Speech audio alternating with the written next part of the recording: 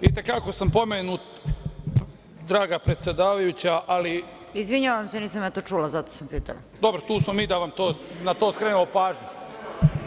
Pa čega mi treba da se plašimo? Crnokošuljaša, zelenokošuljaša?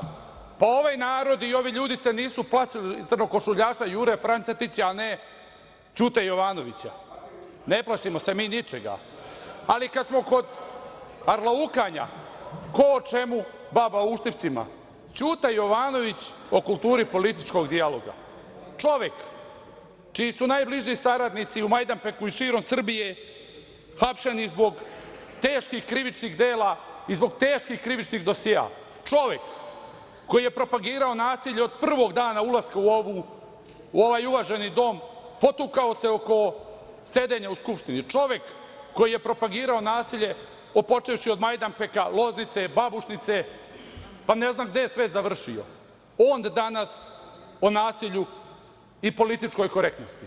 Na kraju, poruka i vama, predsednice, i vama, uvažene kolege, i narodu Srbije, i Ćuti Jovanoviću, na vlast nećete bez izbora. Nikada. Nema vlasti bez izbora, nema vlasti sa ulice.